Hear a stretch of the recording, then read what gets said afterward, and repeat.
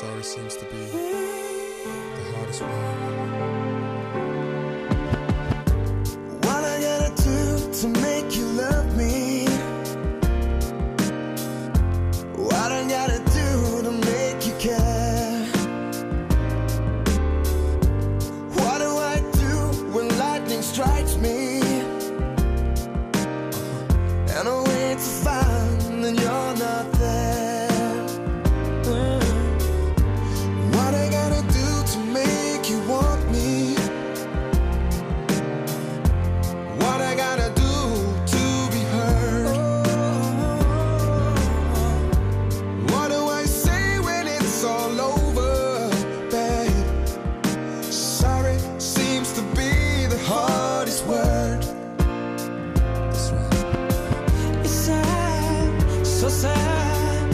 it's a sad, sad situation.